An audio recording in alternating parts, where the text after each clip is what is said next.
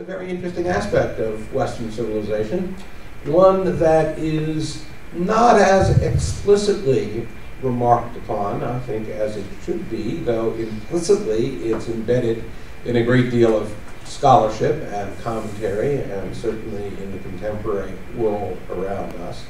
And that's the, the cult of the body. Um, if you look at civilizations around the world, they have very different attitudes toward the body. Obviously, everybody has a body, but whether or not uh, one is preoccupied with its physicality, whether or not one idealizes it uh, as something to be aspired to, that perfect shape, uh, varies a great deal. Um, some civilizations uh, are very covered up enterprises, um, and others look at the body, but they look at the body in a variety of different ways. Uh, in, in, Western civilization, not only in ancient Greece, but I think because of ancient Greece, throughout the rest of classical antiquity, then on with perhaps a dry patch during parts of the Middle Ages, uh, into the Renaissance, early modern life, and certainly contemporary culture.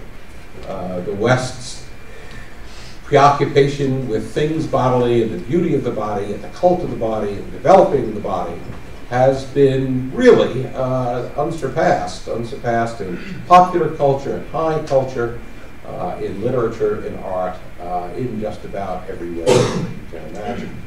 And like so much that is exceptionally Western, uh, we can trace this back to our friends, as I mentioned, the ancient Greeks.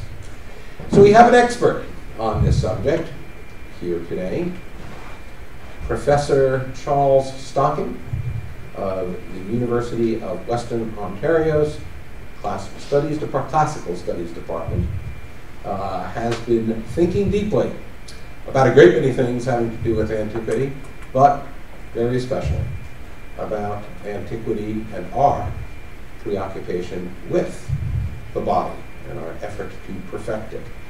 Um, we've had some interesting lunch conversations before getting here. So I know that what you're going to hear is going to be truly interesting and mind expanding. So without further ado, let me introduce you to the embodiment of the cult of the body as understood in scholarship, Charles Stocking.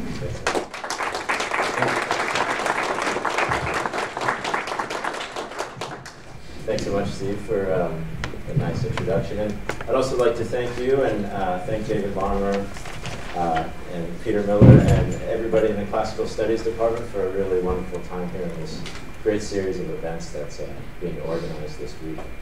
So I wanted to sort of start with this idea, it's something that Steve mentioned, which is the embeddedness of the value that we place on the body today. And I think perhaps in the history of sort of uh, Western history, we can think about modern physical culture as really at a place that is unparalleled in the history of the world, perhaps only comparable to the ancient Greek situation. The degree to which people are invested in the in physical training and the appearance of the body is really uh, unprecedented, I think. And one of the questions is why and how do we get to this point? Um, and really, Greece is ever present in this uh, story and this value that we have. And part of the project today, or part of the presentation, is really going to be to disembed this value and try to sort of uh, analyze it and think about it in relationship to the ancient Greek past and how and why it is uh, that there is this connection that's sort of ever present with the ancient Greeks, as from many of the images here.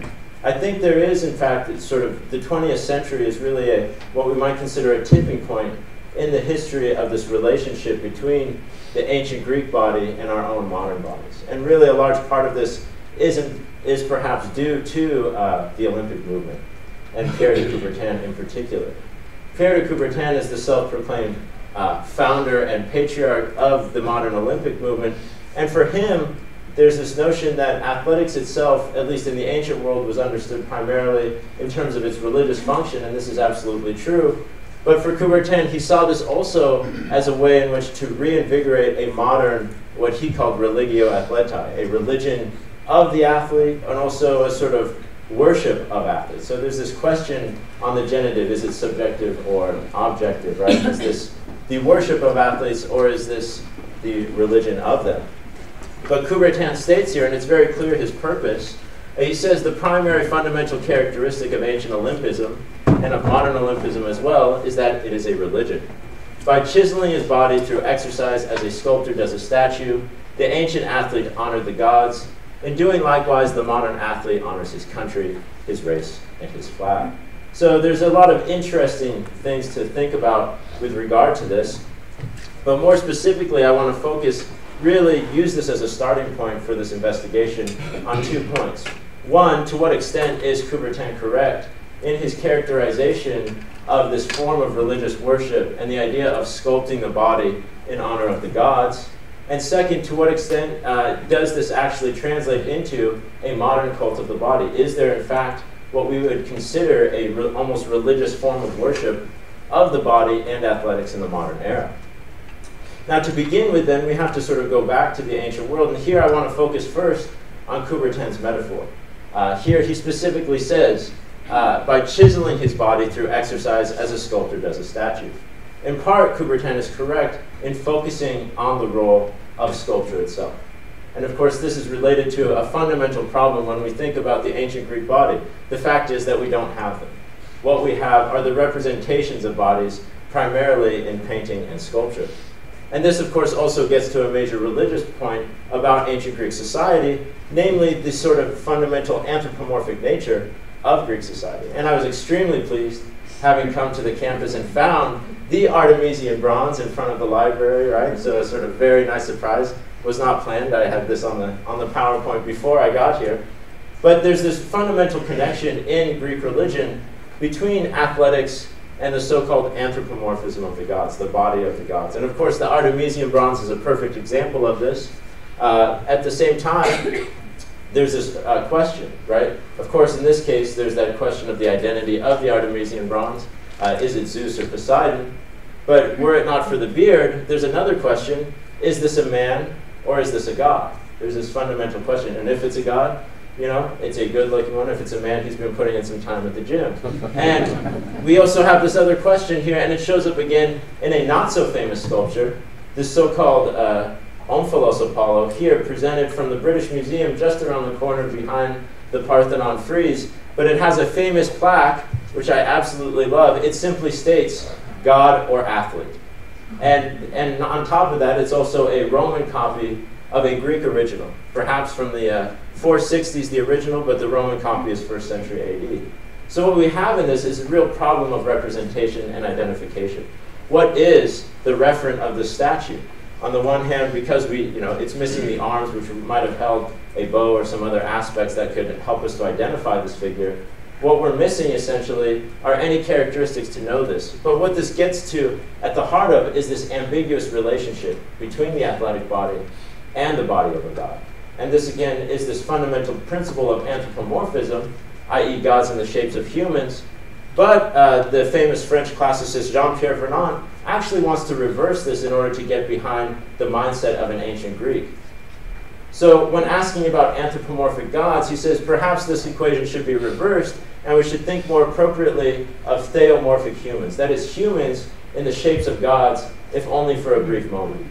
And he says, in all its active aspects, in all the components of its physical and psychological dynamism, the human body reflects the divine model as the inexhaustible source of vital energy when, for an instance, the brilliance of divinity happens to fall on a mortal creature, illuminating him as in a fleeting glow with a little of that splendor that always clothes the body of a god. So we have in this also a temporal component, a brief moment of splendor as opposed to the permanent state of a god. What is that brief moment? That brief moment could be in battle. It could also, most importantly, be the moment of victory. But what we have, though, is this sort of deferral of the actual body and a reference to a divine body, which is never necessarily physically present except in its representations. So there's a fundamental ambiguity between gods and humans in the conceptualization of the body.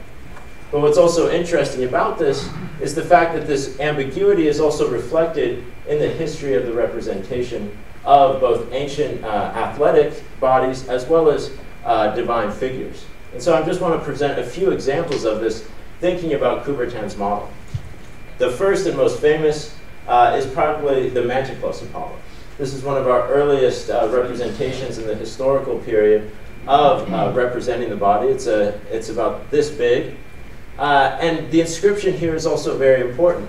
And it sort of gets us into a very unique relationship on how humans conceptualize the relationship with the gods and how this is also mediated through the body itself. The inscription says, and this is inscribed on the side of the leg, Manticlos has dedicated me to him who strikes from afar with the silver bow, that's Apollo. Of his first fruits, give a pleasing response. So this is very interesting for a couple of reasons. First, this notion of the pleasing response. what, uh, what Manticlos, this person who has dedicated this uh, figure, is trying to do is invoke or in, involve the god in a process of reciprocity, the principle of giving in exchange. So he's giving this gift and he wants his prayers answered uh, by Apollo. But what's also fascinating about this uh, image is the image itself. The image speaks, right? Because what does it say? It says, Manticlos has dedicated me. The object itself, this representation of a body, one of our earliest figural representations, and eventually they become monumental. The image speaks, and it's neither Manticlos nor Apollo. It is something separate, as an object that, in some sense, mediates between humans and gods in the cycle of reciprocity. So there's a way in which the representation of the body itself acts as a form of mediation between gods and humans, between mortal and immortal. Now, as this uh, development occurs in the history of representations, we soon get uh, larger, more lifelike and monumental sculptures, and this is most famously seen in the history of the Kouros. Uh, and again, the ambiguity here is extremely important. I've provided just a few famous examples. I provide the Egyptian uh, example here because this is probably one of the sources for understanding the development of the Kouros, at least historically in terms of its positioning. Of course, with one small uh, minor detail, you know, missing the loincloth, so we have a fully nude uh, figure in the Greek examples. But uh, what's also important here is the Kouros, again, its a representation, what it refers to is ambiguous. It's a funerary marker, often, used uh, specifically at, for the death of warriors, athletes, and other figures. And uh, the Kroisos Kouros represented here is most famous for that. There's an inscription that goes along with it, which says, Stop and show pity beside the marker of Kroisos, dead whom once in battle's front rank, raging Ares destroyed. Now, but again, here we have this problem of reference. The image itself says, or you know, the inscription says, show pity beside the marker of, of Kroisos, the Sema. So it's not as though now, the question is, is this image, is this what Kroisos looked like? Not necessarily, because we have a certain degree of uniformity in the representation of the Kouros. This isn't necessarily a representation of Kroisos per se, nor is it necessarily a representation of the god. So there's this question of what exactly does it represent? It represents perhaps some idealized form of a body, and in this case with the Kroisos inscription, uh, the very fact that someone can afford this type of marker shows that they belong to a certain aristocratic level. And so it could show a sort of idealization and elitism on that in that respect. But as, as time progresses, we do find, in fact, the identification of a similar representation with the god. And most famously, this appears with the Piraeus Apollo. And here again, we see almost an exact same representation as the Kouros, except with one fundamental difference. He has the hand out, right? And again, this hand out is a reflection of the engagement with humans in the cycle of reciprocity. We have many inscriptions that talk about dedicating things into the hands of the god. So again, we see this interesting representation that one of our idealizations of the body is A, a marker of their mortality, a funerary marker, and at the same time can also be used as a representation of the god. So we have this interesting conflict between mortal and immortal and a certain degree of ambiguity in this representation. And again, Vernant wants to see this as fundamentally connected. Uh, and he says, the size, smile, and beauty of corporeal forms of the Kouros, along with the movement uh, their bodies suggest, express these powers of life, a life always present, always vivid. The image of the gods fixed by the anthropomorphic statue is that of the immortals, the happy ones, the ever young, those who in the purity of their existence are utterly alien to decline, corruption, and death. So for Vernant, he is asking why is it that the images of the god are so similar to the representations in funerary markers? Well, that moment of death represents a moment of supreme beauty and also immortality, this, the one moment when a human is like a god. So, on a representational level, we see this connection between the physical beauty of a body and the, and the sort of idealization of the ancient Greek gods as a projection. How, of course, does this relate to athletic practice? And here again, the cycle of reciprocity is very important. As I mentioned, there's this notion of the divine moment, the moment of victory, for instance, in athletics. And we see this also through various uh, representations and inscriptions related to athletic practice. Now, of course, many of our actual statues that would have been dedicated to the gods in the context of athletic victories are absent, but we do have some inscriptions. And most famously, we have the so-called Kleombrotos inscription. This is one of our earliest inscriptions from Olympia. And the inscription is very interesting for several reasons. First, because it is a dedication, it's understood as a gift, invoking the cycle of reciprocity. But it also gets into an issue of the presence of the god in the practice of athletics, as well as the representation of the athlete himself. So here we have the inscription. It says, Kleombrotos, son of Dexilaos, having won at Olympia, dedicated, and this last bit is blank. What exactly is it? Is it it? Is it me? Is the statue speaking? But most importantly, it says equal to him in height and width, a prize as a, as a tenth uh, prayer, praying to Athena. So there's this very interesting uh, aspect, and I want to focus here on this notion of equal to him in height and width. There's an idea here that the statue itself is supposed to exactly represent the person, right, as a replacement for the athletic victor who's in some sense risked or endangered their life in athletic competition. So what we have then is a dedication of the statue in place as a sort of ritual substitute for the athlete himself. And again, also with the presence that this is not possible without the existence and participation of the gods in this athletic moment, praying to Athena. And so with, with the cycle of reciprocity and the idea of the body itself and its representation as the object in this exchange mode, we have other inscriptions, and I just want to provide one more for you. And this is another uh, victory inscription, uh, which says, Standing upon the Alpheus, the Pelasgian boxer, once demonstrated with his hands the nomos, the sort of custom or habits of Polydeuces, when he was heralded as victor. But Father Zeus again grant in return Cleos to Arcadia and honor Philippus, who here leaned on four boys with straight fighting. So again, there's this interesting idea of a cycle of reciprocity uh, where he asks, uh, the, the inscription asks, Father Zeus grant in return kleos, so the idea of reputation, what is it that is going to be gotten in exchange for the dedication of the statue itself, is the reputation of the athlete, but not just the athlete, also the city-state to which he belongs. So there's an invoking, an invoking of the sort of civic ideology along with an aristocratic ideology. So with this, though, we see that the body itself is this thing that is exchanged. But of course, it's not the body, it's the representation. And this is what I want to focus on, this problem, right? And this problem specifically of you know, the absence of the physical body in place of the body uh, itself or the representation, and how Coubertin frames this. Because I want to return to this point that he says, by chiseling his body through exercise as a sculptor does a statue, the ancient athlete honored the gods.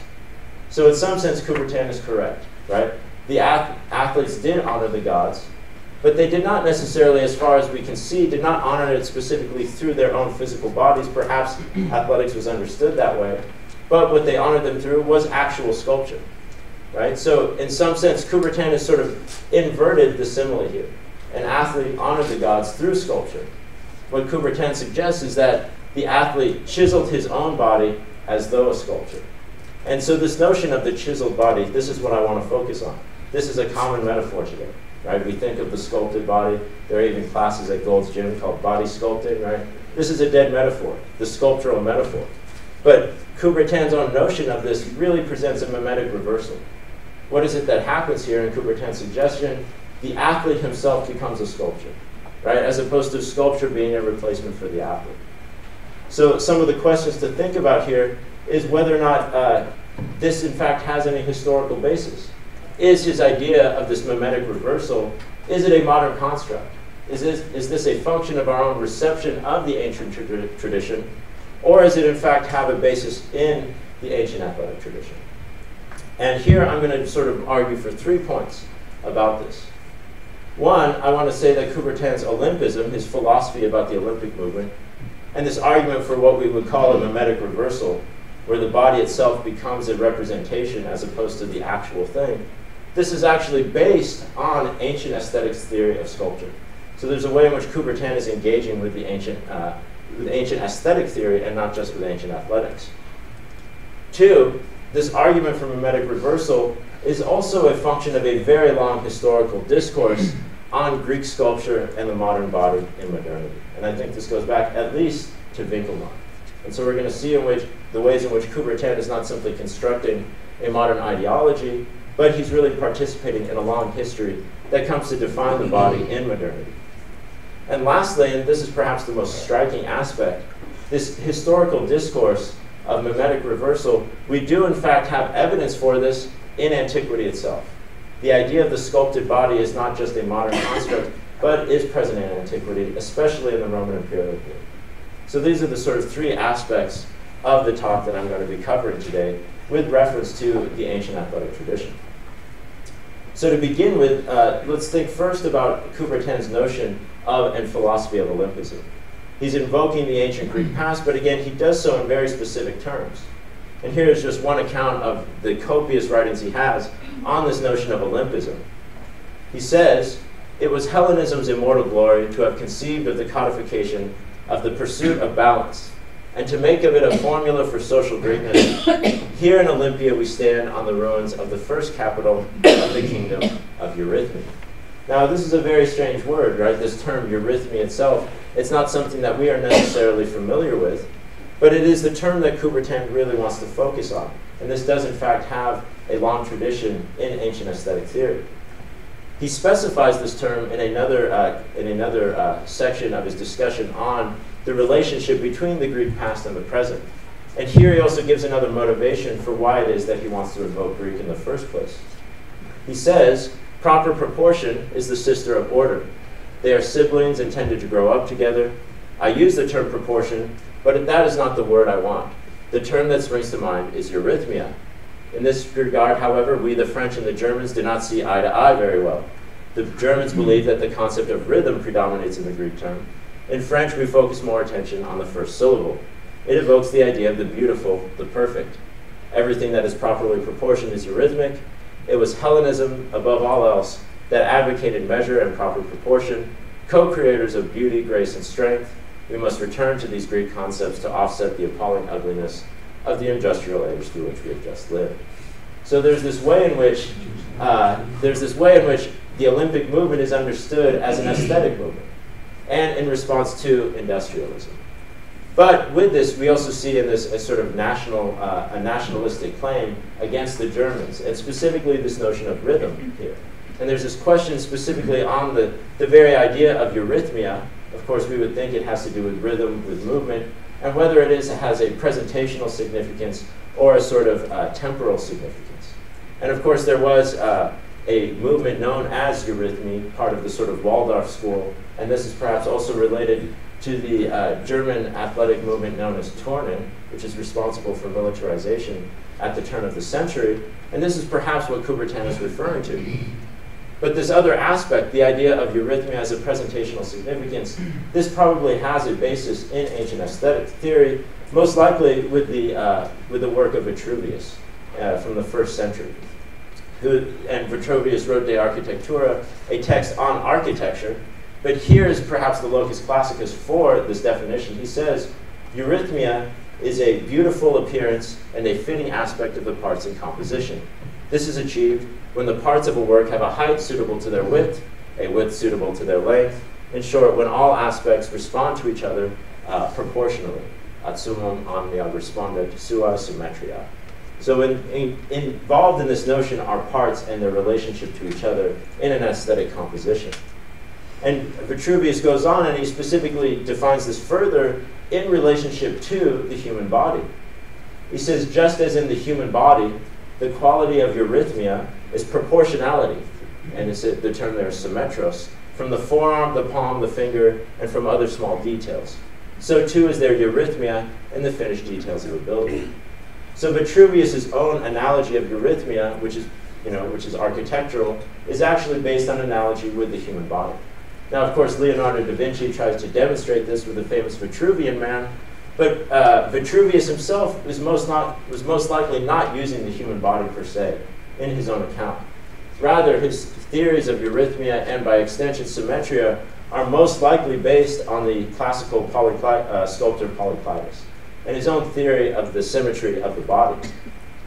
And this is most famously represented in the Doryphorus uh, sculpture, and here we have the Roman copy of that.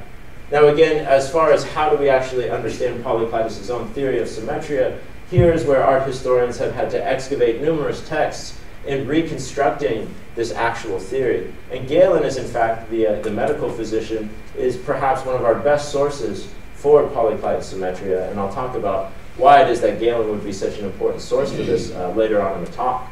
But for the purposes of uh, our immediate purposes, I just want to focus on his actual definition. Here he's talking about uh, the history of philosophy, and he says, He, Chrysippus, thinks that beauty lies not in the proportion of elements, but in the proportion of the parts of the body. A finger, obviously, to finger, of all the fingers to palm and wrist, of these to the forearm, of forearm to upper arm, and of all to all, as it has been written in the canon of Polyclitus. And so there's this famous canon of Polyclitus, and this, there's a question, you know, what is the canon? Can we find it? Is the Doryphorus an example of the canon? And people have done numerous measurements, gotten out their, you know, their rulers to, to figure out this exact proportionality of the Doryphorus, and can they reconstruct this idea of perfect measurements? Now, all of this is well and good, and it's very interesting, but what it also shows, perhaps, is that Polyclitus himself is considered, at least in the history of art, as somebody who dramatically departs from the idea of imitation proper, the idea of the copy of something that exists in real life, and instead deriving proportions from a mathematical equation. And this mathematical equation is also perhaps based on philosophical concepts of perfection and uh, Pythagorean concepts in particular. So here we have a couple different uh, pieces of textual evidence that have a very similar uh, terminology that is associated with Polyclitus. So again, here talking about um, uh, this notion of perfection at the top from Philomechanicus, there's a quote, so that the phrase spoken by the sculptor Polyclitus is appropriate for the one about to speak. Uh, perfection, he said, comes about paramikron through many numbers. So there's an idea of measurement and mathematical equation in this, as opposed to just a sort of copy. And then secondly, uh, Diogenes Laertius, talking about Socrates and Zeno, says he used to say that perfection comes about paramikron, but that is by no means small. Others say that Socrates said this too. And then finally, we have uh, Aristotle's metaphysics that says perfection is from the numbers, esti apoto arithmo. And so we have this idea of perfection of to'u that is somehow perhaps based on a mathematical equation, and perhaps this mathematical equation then also then informs sculpture. If there's this proliferation of images of these sculptures of beautiful bodies, and yet there's a complete acknowledgement that these sculptures do not, in fact, reflect reality. This creates a sort of mimetic paradox for us, and one which uh, art historians have also discussed, most famously uh, Nigel Spivey, referring to this as a concept known as body fascism. And again, he, he explains body fascism as follows. He says, in the cities and sanctuaries that the Greeks frequented, there was by the mid 5th century a standing population, as it were, of male nude statues the classical male nude was almost oppressively exemplary. So that I think is an important term, oppressively exemplary. The idea of an exemplum, but one that causes you know a certain degree of discomfort and pain. He says in modern parlance, this amounts to body fascism, the imposition of norms for acceptable or successful bodies brought about by a great commercial exposure to paragons of ideal proportions. So in other words, we have a disconnect between the representation of the body and actual physical bodies and for Spivey, he wants to see this as somehow creating a sort of psychological problem for the Greeks in this pressure to imitate something that everybody knows cannot be imitated. Now, within uh, art history, there's, there are, of course, a lot of arguments against Spivey's notion of body fascism, specifically by Robin Osborne, thinking that this itself is just a modern construct. The, and the, the very fact of the cult of the body beautiful is, in fact, something that was not necessarily present because of its relationship to the, to the divine as something that is not necessarily human. And for the moment, I want to leave aside that question of the accuracy of body fascism in antiquity and think about the reception of sculpture, ancient sculpture in modernity. So perhaps Polyclitus does not necessarily reflect ancient body fascism, but it could, we could say that he does, that Polyclitus was used for modern body fascism. So again, if we think about Coubertin's statement, his statements on eurythmia are in fact written, and again, this is important for historical context. These were written in an in a, uh, article titled The Origins and Limits of Athletic Progress in the German newspaper BZ am Mittag. And this really is in response to this question of what it means for a handsome athletic race to flourish. Right, so this is right before the 1936 Berlin Olympics, the most controversial of the Olympic Games. And here he's talking about this notion of the beauty of sculpture. And he says, I said just that uh, in order for a handsome athletic race to flourish, an atmosphere of calm and proportion had to be prepared for it. Proper proportion is the sister of order. I use the term proportion, but that, not, that is not the word I want. The word I want is eurythmia. Now, of course, this balance of this mimetic reversal, if we're thinking about the Berlin Olympics, is most famously represented in uh, the documentary of Leonard Riefenstahl, Olympia, where the German decathlete, or where uh, Myron's Discobolus is transformed before the viewer's eyes into the German decathlete Erwin Huber. So here we see that absolute representation of the, the conversion from sculpture into the living body, right? Perhaps it was an impossible ideal that could not be realized in the ancient Greek times, but at least according to Riefenstahl, it can be realized in Nazi Germany.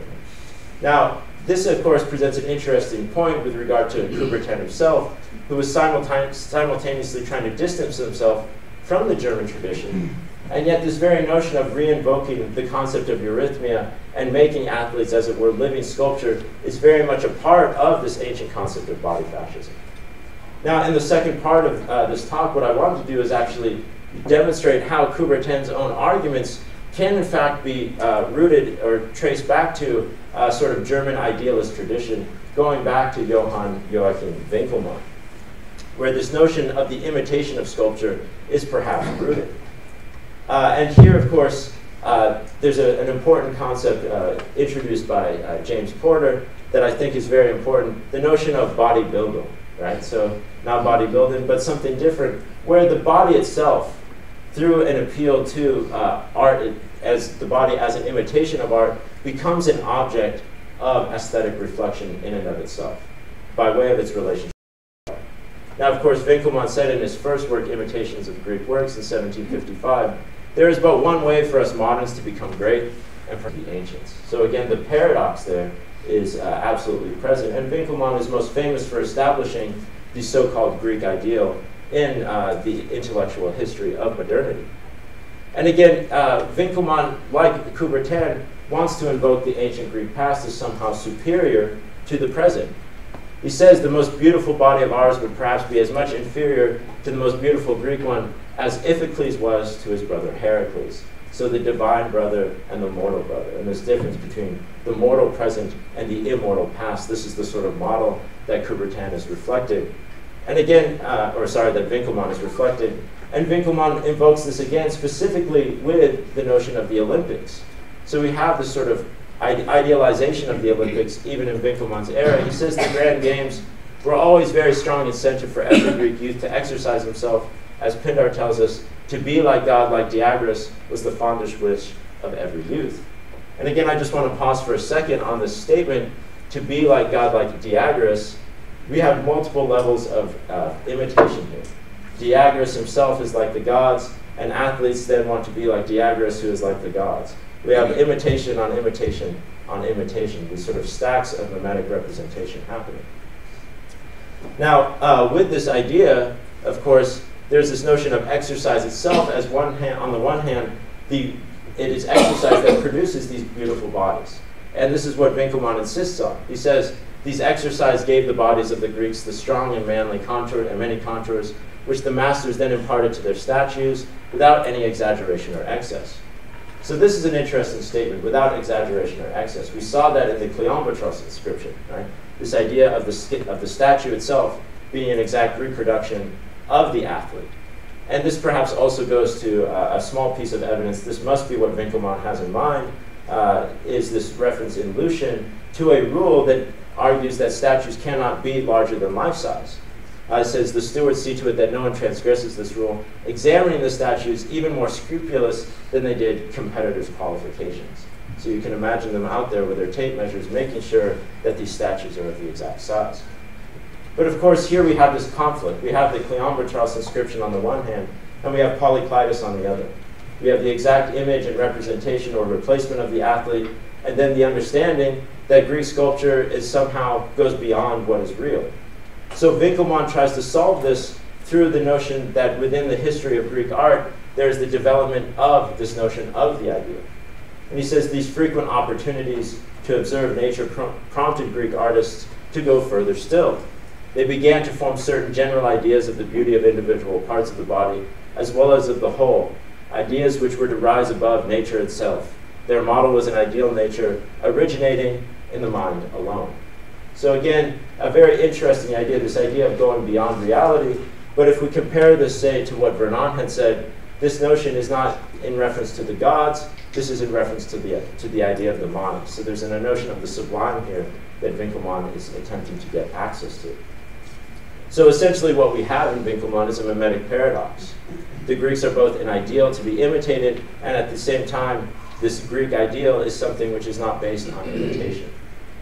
Now we see this also in other, uh, in also other aspects of the German uh, Bildungsideal, uh, specifically with Wilhelm von Humboldt, who's very responsible for other aspects of the German education system that was highly Hellenized and also perhaps influences our own. But he said the value which the Greeks placed on a free, developed body, ausgebildetin, stands out for all nations. And he said life can be considered like an art, and that in life characters can be considered like a work of art. So there's this idea, again, of the reversal, that the physical body becomes an object of art in and of itself. So if this is a notion or a tradition of bodybuilding, we do see, in fact, that this, on one level, does in fact develop into that uh, subculture we know today as bodybuilding. And this happens, uh, again, around the turn of the 20th century with the figure uh, Eugene Sandow. Sandow is a very interesting person, a strongman a performer, but there's supposed to be a sort of historical moment uh, which, uh, of what were called muscle display performances. That, where it is that the, the physical body itself became the object, not just in terms of intellectual traditions, but in terms of physical display. And here Kenneth Dutton in his work, The Perfectible Body, says, Sandow's posing introduced a revolutionary concept, that of the live display of the male body in the public arena as an object to be admired solely by virtue of its advanced muscular development.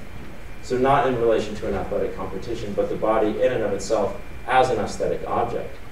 And of course, the Hellenizing tradition on this is most famous because we find Sandow directly in the poses of classical sculptures like the famous Farnese sculpture from the Baths of Caracalla, based on uh, the Hellenistic sculptor Lysippus. And so again, this example of sort of mimetic reversal really does come into an absolute representation with Sandow, right? The idea of the impossible ideal actually being made manifest. And of course, bodybuilding itself probably wouldn't have been possible without media technology, specifically the photograph, and the idea of being able to capture the still image and this reproduction of the image itself. So, and with this, what's fascinating again too is that there's a discourse around this. This isn't simply a sort of a circus trick, as it were, but Sandow, or at least those writing on behalf of Sandow, seem to understand this idea of a nostalgia for the Greek past that is really very uh, commensurate with Winckelmann's own writings. This is uh, from a training manual, Sandow on physical training, so you too can have a Greek body. Uh, he says, My notion about the ancients, and remember their wrestling is just as we have it in all results, is that they were not a bit better men than there are now living, but occasionally they found a man incomparably better than his fellows. The classical statues are all idealized, the complete dream of the artist who found in individual some perfect parts and shaped a form in which no ingenuity could pick a flaw. Of course, that a Hercules or Venus may have been is not impossible. In beauty or strength, nothing is impossible, but we don't see such men and women everywhere. This is a very interesting and contradictory statement. On the one hand, he says, ancient bodies are just like ours and that the beauty itself of statues is idealized. And yet, you know, this impossible ideal, ideal beauty, perhaps it could be found somewhere. And of course, on one level, this is a very uh, immodest statement because what he's saying, was, you found it right here, baby, right? In the figure of Sandow. But this idea of Sandow as the idea of the representation of an impossible. But at the same time, what I think is important is the articulation of a paradox, right? A paradox that is allowed to exist as a paradox, right? That he contradicts himself. All the statues are ideal, are idealized, the complete dream of the artist. But uh, as far as beauty and strength, nothing is impossible. So this, this contradiction is inherent there. Now, consequently, uh, the Farnese itself has become a major source of influence even in the history of modern bodybuilding. It was, in fact, the Farnese Heracles that inspired Joe Weider, the coach to Arnold Schwarzenegger, to pursue bodybuilding. Uh, and it was his, his viewing of the Farnese that inspired this. He said, Seeing the Farnese Hercules was a revelation, a turning point in my life. It became the ideal I held in my head of what a bodybuilder should look like, and I don't know of any other piece of, of art that personifies power so effectively. There's just something magical in the Farnese that speaks to the sort of man like me who's always wanted to be bigger and stronger. It's kind of simple, really. What he has is what we want. So again, this is a very fascinating statement. I think it's perhaps more philosophically profound than Joe Weider actually understands. What he's giving expression to is this idea of an eternal desire, right? What he has is what we want. What the statue represents, in some sense, is desire itself, right? And this whole tradition of bodybuilding is based on that desire, right? And consequently, of course, it's no mistake that Arnold Schwarzenegger's first movie was Hercules in New York. Uh, if you haven't see, seen it, I wouldn't recommend it. But in any case, if we look to this, then what we find at the turn of the 20th century is this convergence of this history of what we could call bodybuilding, beginning in the 1700s, uh, with, on the one hand, bodybuilding itself, the static posture in imitation of a sculpture. And on the other hand, we have the idea of the, of the sculpture turning into a living sculpture, an athlete, in the case of the athletic movement. So really, I think uh, the 20th century becomes this turning point uh, for this idea of using Greek sculpture, a return to the Greeks, to promote this notion of a type of impossible ideal. But of course, on the other hand, we have seen the ways in which this notion of the impossible ideal can also be used for political purposes, as in the case of Riefenstahl's movie. Now, what's important here to think about is on the one hand, this looks like a very modern construct. Uh, this notion, it requires a sort of idealization of the Greek past, right, to understand this notion of mimetic reversal of human bodies today in imitation of ancient Greek sculptures. But the fact remains that this discourse on what we could call bodybuilding, it actually exists also in antiquity. And this is again something I think that is really striking and surprising and here I want to return specifically to the work of Galen, our, uh, our best source for polyclide symmetry. Of all of our different literary analyses and references to, uh, to Polyclitus, Galen is the most prolific, and it's very interesting for why it is that he describes this, and I'm going to sort of talk about the motivation for why Galen, above all others, is going to be talking about the impossible ideal of sculpture. He says, uh, for having taught us all things in his writing on the symmetry of the body, Polyclitus confirmed his account in action through the creation of a statue, which he also called the canon. He says the beauty of the body then exists in the symmetry of the parts according to all doctors and philosophers, and health of the elements is symmetry between them.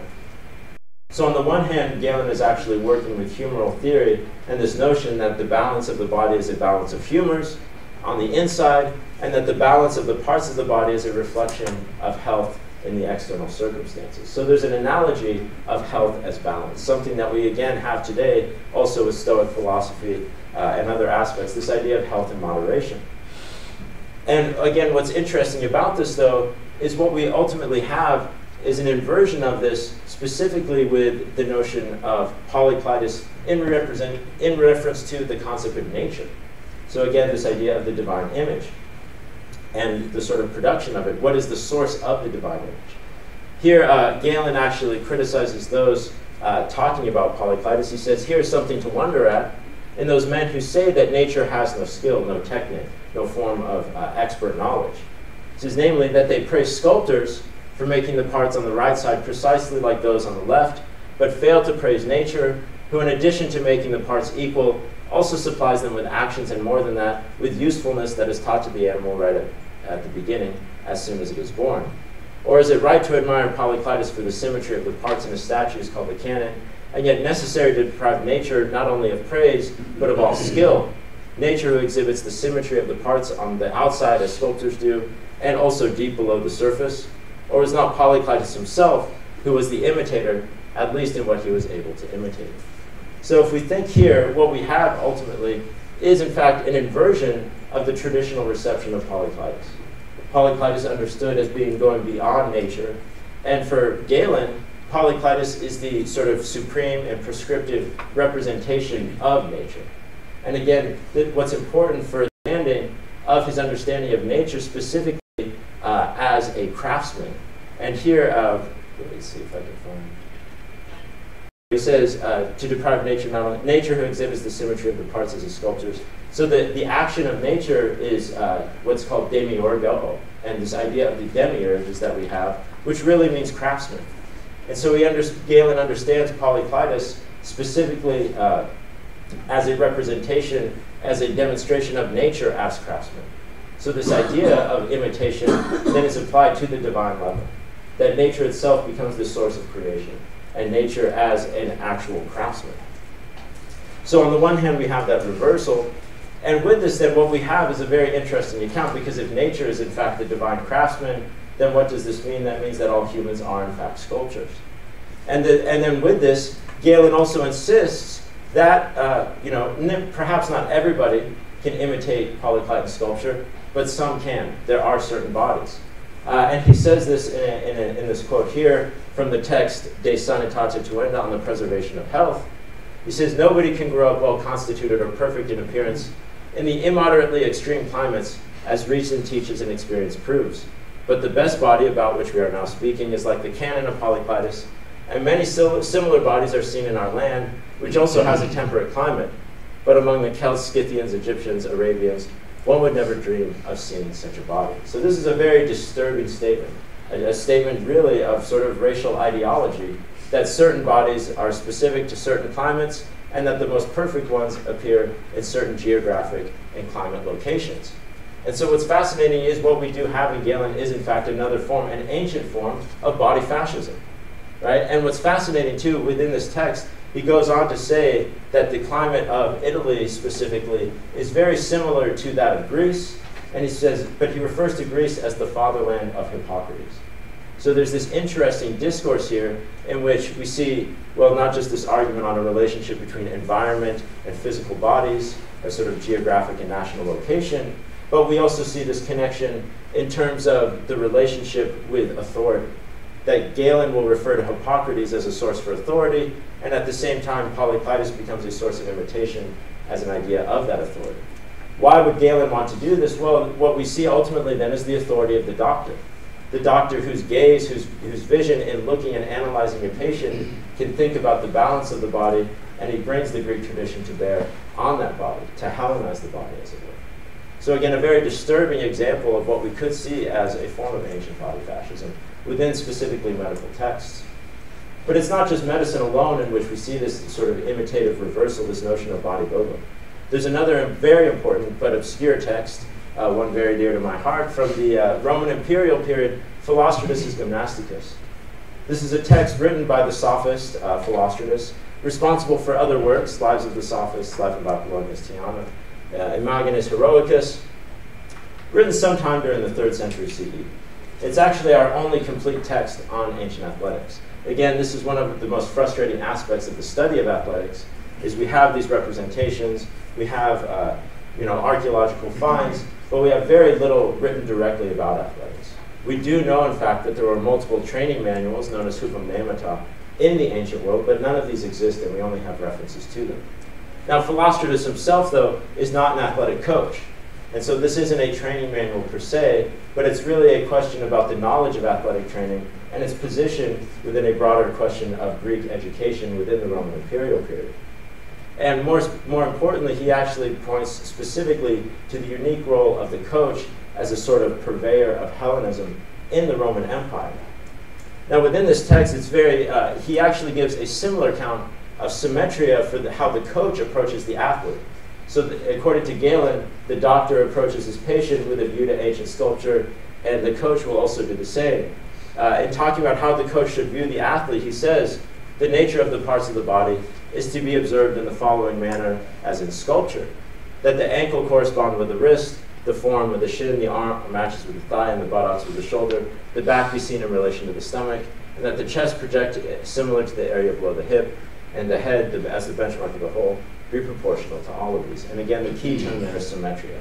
So we have a very similar principle of symmetria here, but again, a context of reversal where uh, uh, Philostratus is proposing that the coach look at the athlete according to the art historical principles of, uh, of symmetry.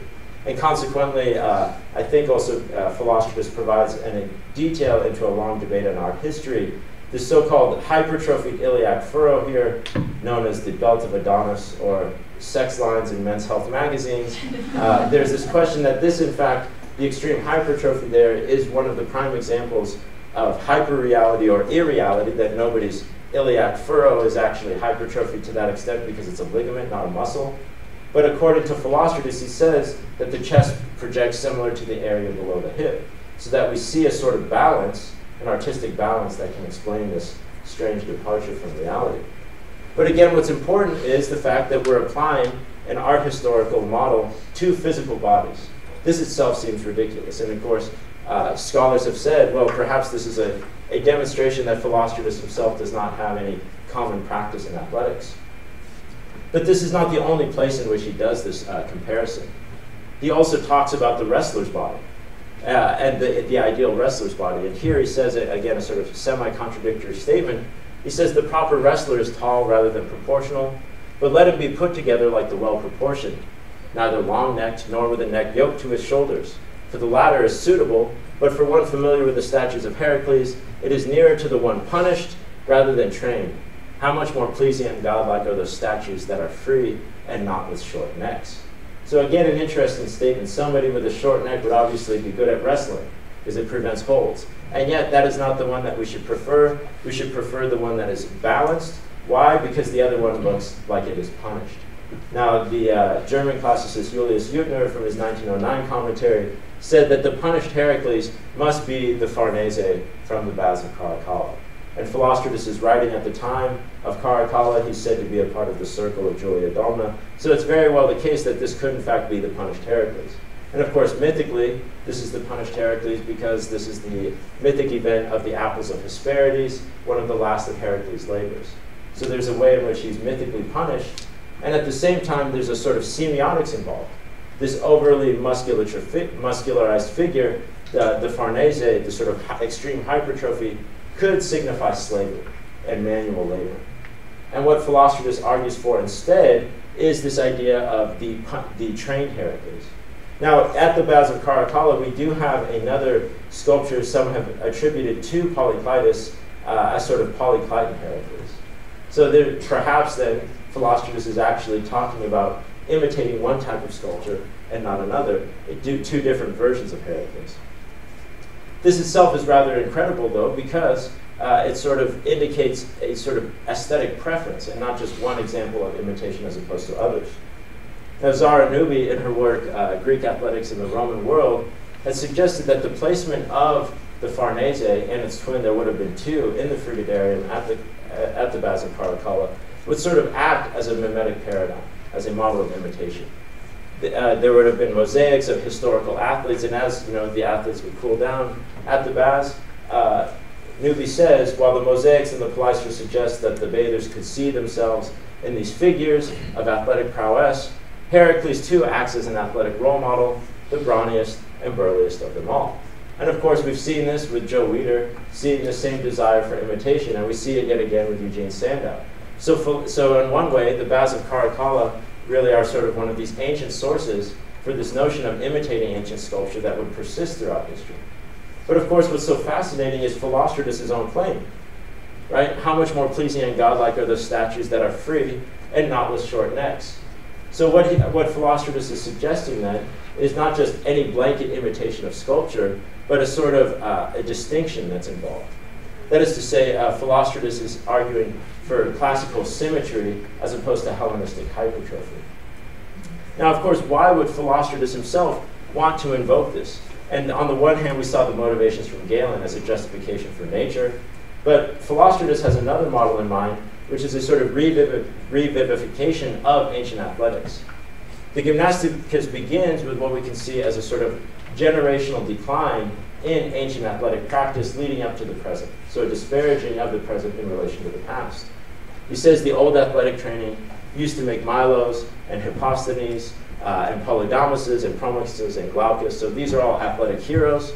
And also athletes before them, Peleus and Theseus and Heracles himself. And athletic training in the time of our fathers knew lesser men, but still amazing and worthy of recollection.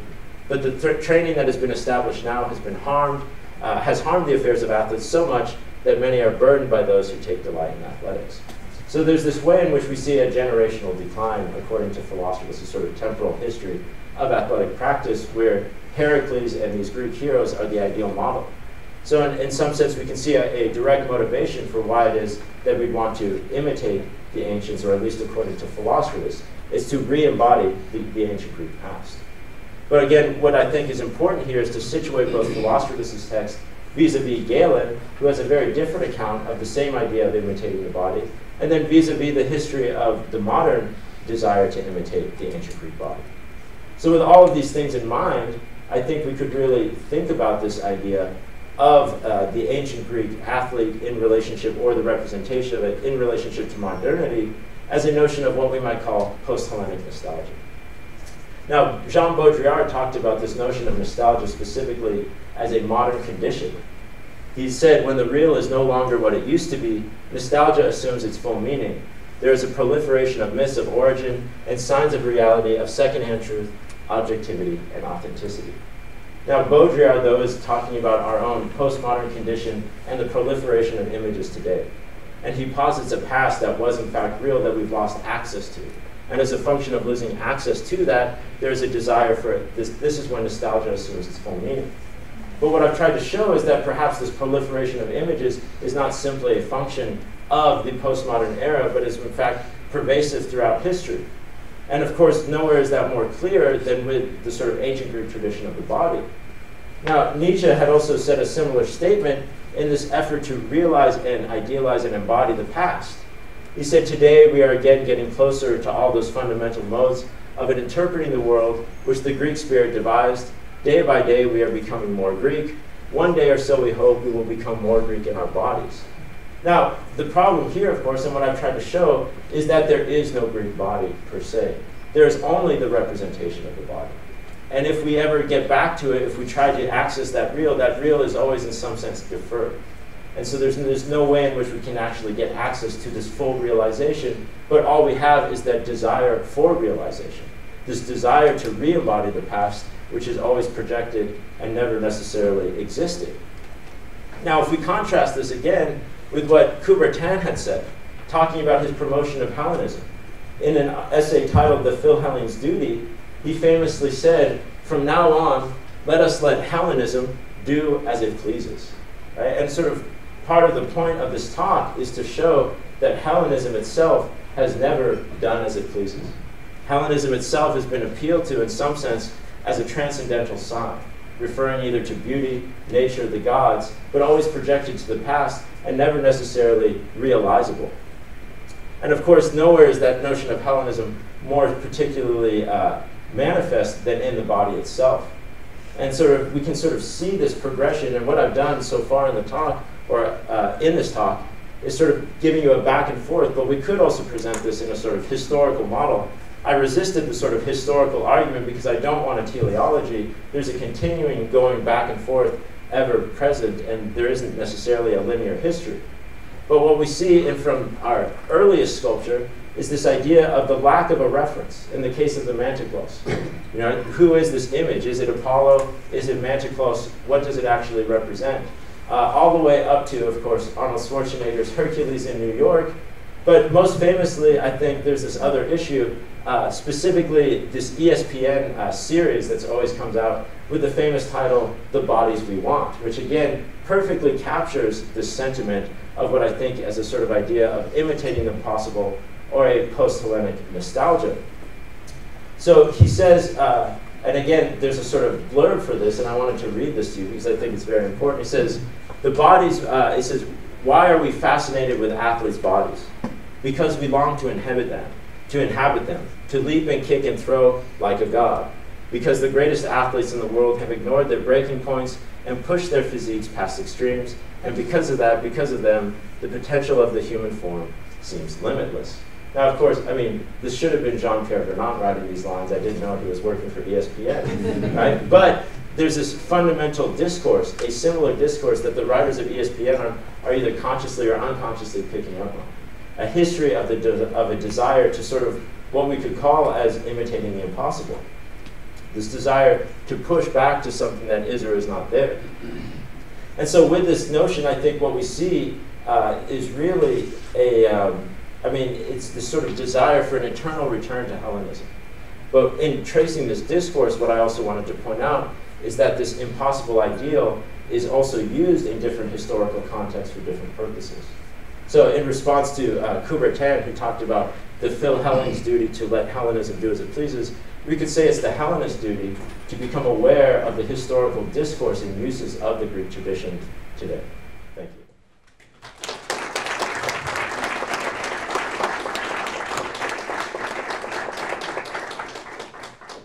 Well, thank you so much. Um, I hope uh, particularly the men in the audience don't feel terribly inadequate after looking at uh, all that superb flesh. Um, I do. I, I, was a little remiss uh, in the beginning in not kind of thanking our co-sponsors um, who have actually done the heavy lifting for most of this uh, multi-day uh, experience, and that's the classics department and the sports science department. So let me thank them for that. Uh, and thank you, and uh, open the floor for questions. Um, if you have a question, ah, okay. What? Let me give you the microphone.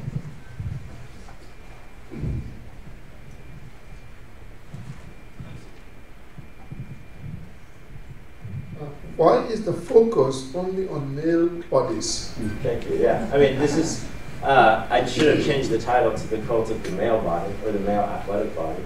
And I mean, this is a very important point and an important question, this focus there. Uh, there are a number of reasons for this we could, we could give. I mean, on the one hand, there is the history of the Olympics themselves. I mean, it becomes a circular argument. Greek society was extremely patriarchal. It was, in fact, you know, the absolute manifestation of patriarchy, and of course, there uh, the questions of misogyny and this, you know, misogyny is a Greek term, the hatred of women that is also there there's this uh, focus on the, the male body and this question of uh, why aren't female bodies represented in the same way? Um, it's a difficult question. I think, I don't know if there's necessarily an answer beyond the historical context of this favoring and this patriarchal society.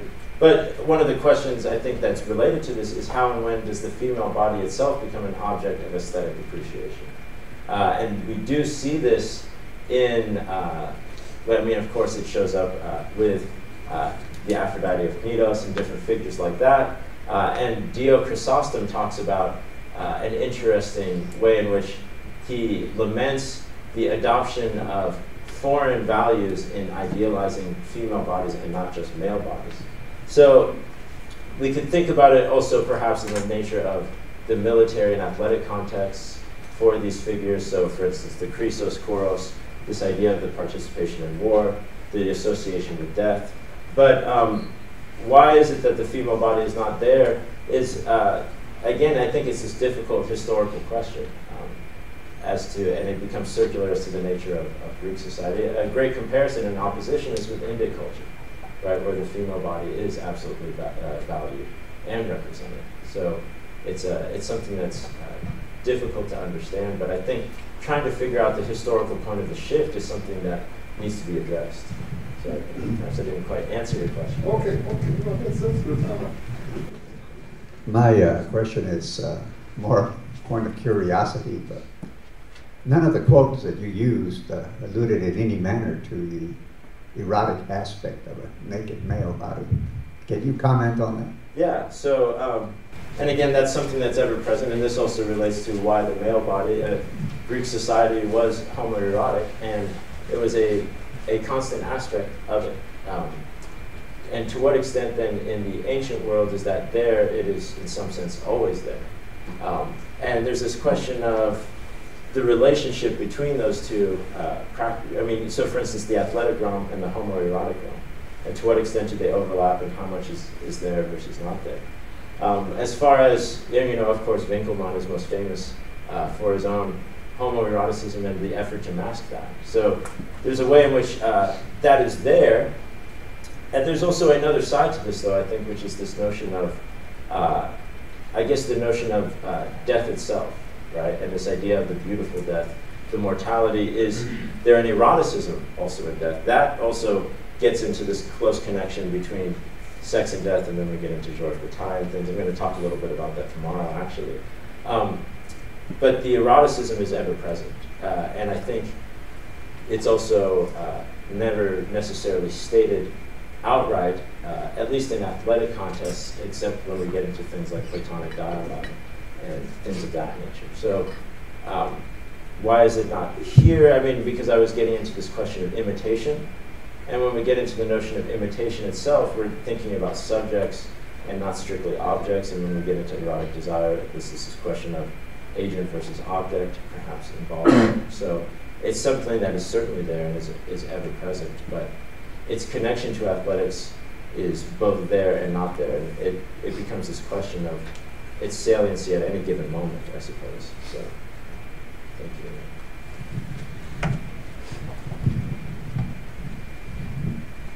Um, you discussed the post-clinic nostalgia, uh, especially as it pertains to the body. Um, do you think this represents our tendency as humans, at least in small part, to defer reality and uh, focused on focus on the past or the good old days, or um, I guess to not focus on the negative aspects of the past, um, just as it is embedded, I guess, as part of the human condition. Um, yeah, I mean, so this notion of the past, right, and this appeal to the past is uh, is something that is, in some level, ever present. And I mean, I guess one of the questions for me is, I mean, is this eternal? And, and you mentioned this idea of not focusing on the negativity of the past, and this idea of a deferral we, an idealization, where can we locate that idealization? Are we going to locate it in the past? At least as far as uh, this discourse, I think there is a continuity in the discourse in Greek culture because even in our earliest Greek texts, I mean, in the Iliad, we have Nestor, the oldest of the Greeks, referring to the good old days, right? And in the Odyssey, uh, Odysseus says, I'm not going to compete against athletes of a prior time because they're better than I am. And this is our earliest piece of Greek literature. So even in our earliest literature, we have this reference to the past. I mean, there is this question with the value of technology and science. I mean, one of the questions is, do we still have that relationship to the past? On one level, we could say yes. Uh, on another level, perhaps not. I mean, there's sort of, uh, as opposed to Greek epic talking about a past that previously existed, we have sci-fi in the future. So what role does the future play in modernity? Um, as the flip side to that is something I think could also be thought of. But yeah, I think it is perhaps something that's fundamental to uh, to the history of this, this discourse. Hey, thanks, Charlie. Yeah, really appreciate the talk.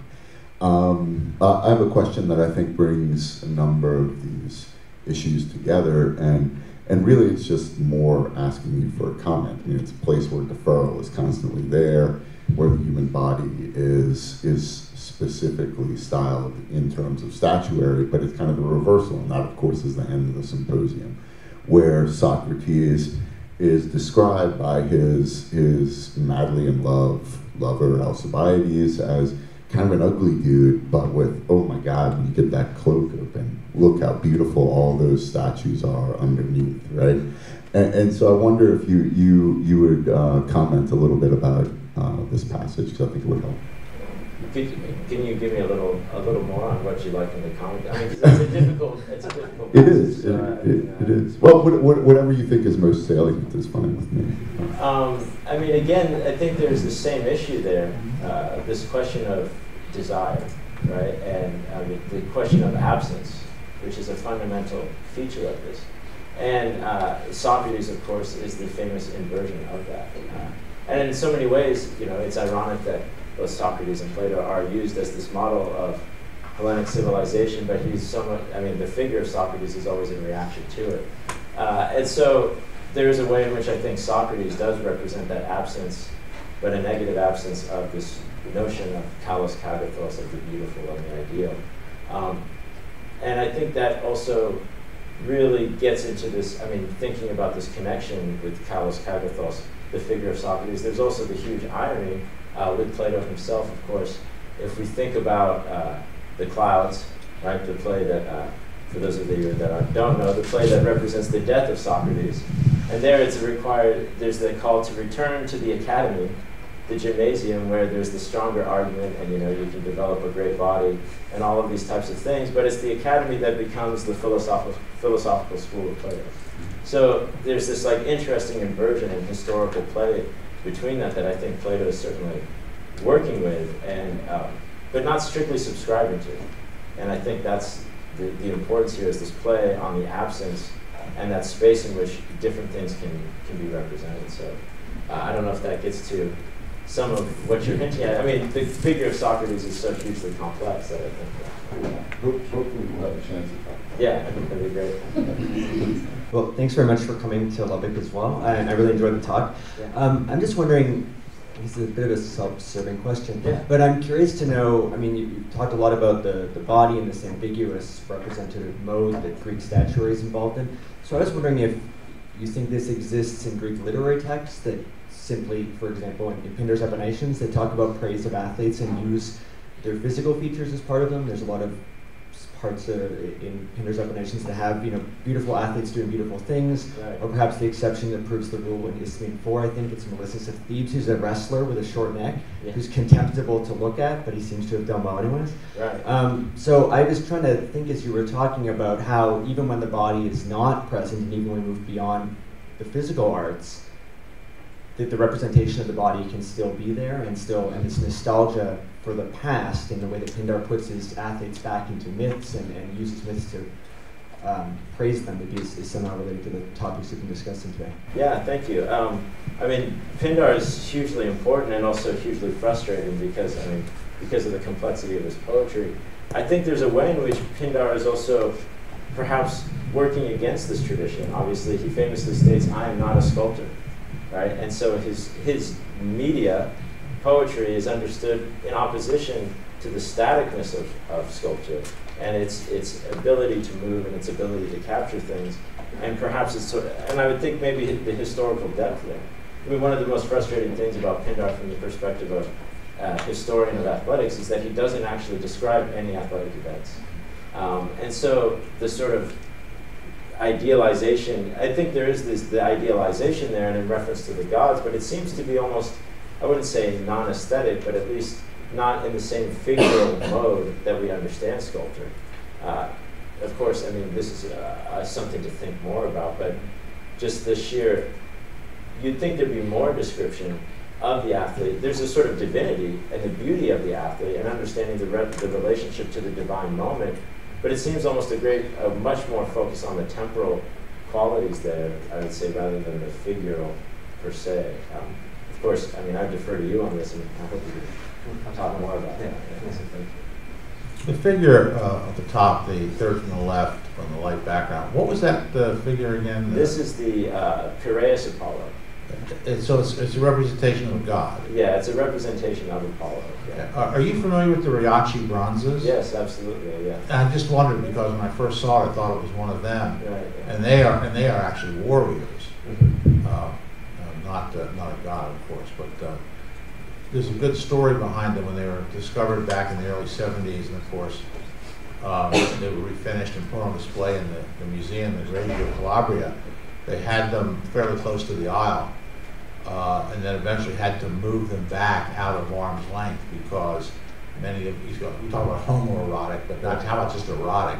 Uh, many of the Italian women were coming by and they little feel as a fertility thing. Right. Yeah. So mean- they are quite impressive, I've seen them. They're- they're Yeah, and, and this, I mean, I'm glad you brought in this sort of haptic element, this aspect of touch that's always there. There's a great uh, image I didn't include.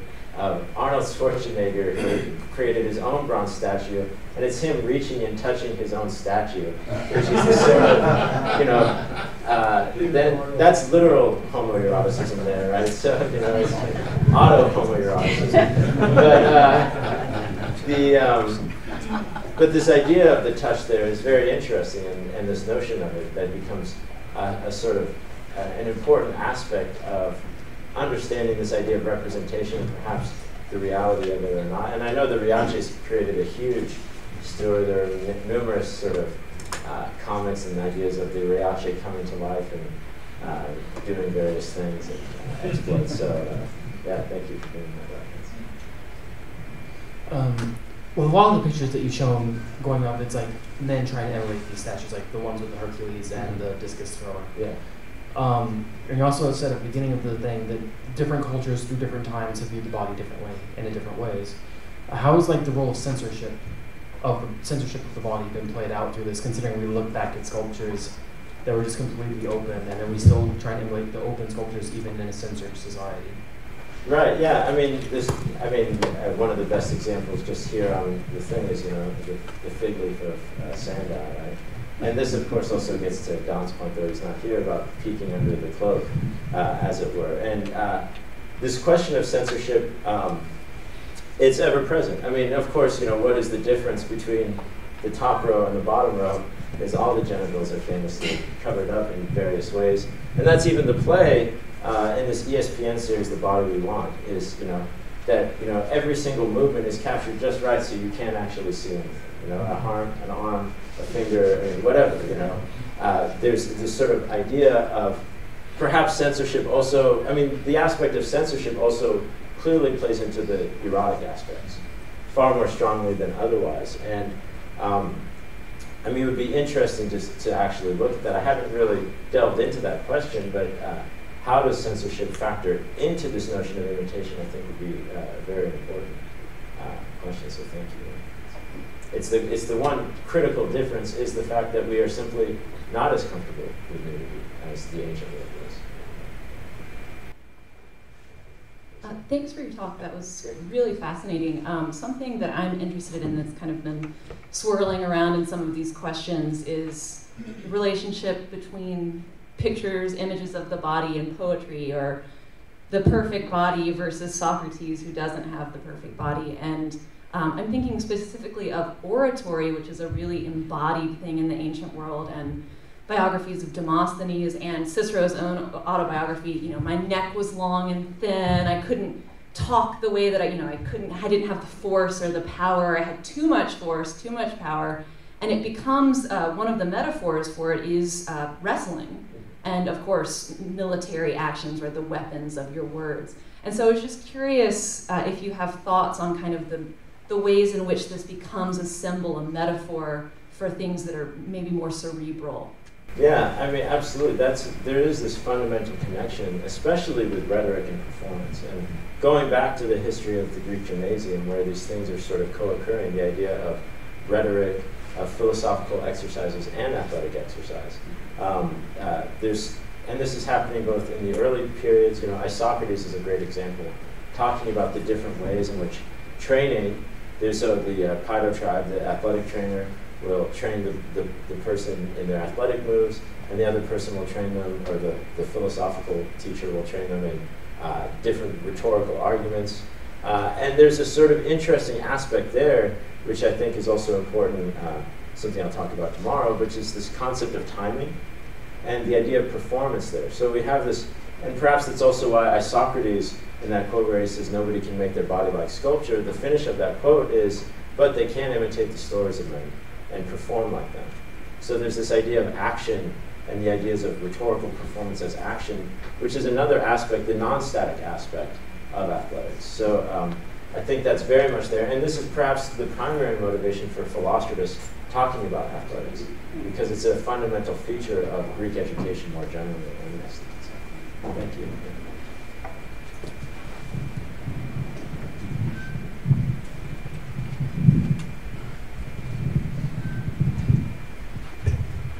So, um, especially in connection to your section where you spent a lot of time with Galen, Yeah. um, and then moving on to even talking about some some aspects of like you know we brought up Da Vinci and kind of having that, that ideal man in training we can kind of like fit that you image Right.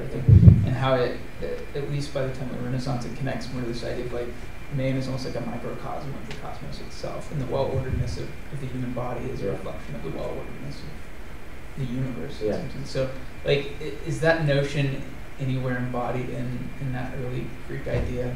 Um, because I, I even think of like when, when gods come to be, like like Lucia, for instance, like we don't really have a whole lot to talk about in terms of the body other than like uh, getting castrated. Like other than that, like we don't spend a ton of time necessarily talking about them. So like how does this maybe fit into this big broader idea of like a the cosmos and, and is it does it in any way reflect that same ideal that we ain't seeing end up coming out in the Renaissance, is so influenced by this concept? Yeah, I think there is, I mean, that's a great question, thank you, because I think there's a real, um, there's a tension, and specifically when we see Galen, because Galen's arguments are very much a part of this idea of this relationship, and there's, you know, this idea of balance, right? The balance of the body, internal, external, and in relationship to the balance of climate, that there's a sort of fluid, uh, you know, symmetry that exists in all of these different aspects. But Galen is also really pushing for this singular notion of the demiurge as this divine creator. And what's so fundamentally different from that compared to our earliest sources, such as Hesiod, is that you know the gods are not creator gods. They they are born into the universe, right? They don't exist outside of it. And so um, that gets into this other aspect of Greek religion, which is polytheism. Uh, and this uh, this notion of multiple gods in a universe, multiple gods with bodies, but multiple gods in you know competition and in discussion with each other. It's the other aspect to Greek religion that perhaps there that might be the real shift is moving towards a sort of singular cause and explanation for things, the sort of idea of a universalism that creates these balances uh, throughout. I mean, there might be a shift uh, at some point. The question is when and how does that happen? Uh, perhaps it's located in philosophy, this desire for, you know, or even perhaps with the pre-Socratics, this idea to find a single explanation for one thing, as opposed to this polytheistic notion. So multiple bodies as opposed to this single ideal body. Uh, so, and, and with our earliest sources, we do have this idea of proliferation of multiple bodies and not necessarily a single perfect one. So, so thank you. Yeah, that's an important thing to think about, though, is that, that difference. You could do one more question if there's a question out there. Does all this research make you want to do bodybuilding like on your own? Well- like just staring at bodies all day, start looking at your own a different way. Well, it's kind of a reverse of that actually, and uh, specifically the well. So personal background: I was a strength and conditioning coach at UCLA for four years, and I uh, coached a lot of Olympic athletes. I was also a competitive power lifter, and actually desired designed most of my training in opposition to bodybuilding because I wanted to be stronger and realized that this focus on the aesthetic object is, is in fact something entirely separate from the activity. Um, so in some sense, I've been thinking about these things in opposition and in dialogue. So I will never wear a speedo in public. But um, uh, but this gets to an important point here, which is uh, I think a distinction and a conversion between the idea of the body as an aesthetic object and athletic performance. So with this idea of the bodies we want, we have a fetishization of the athlete's body.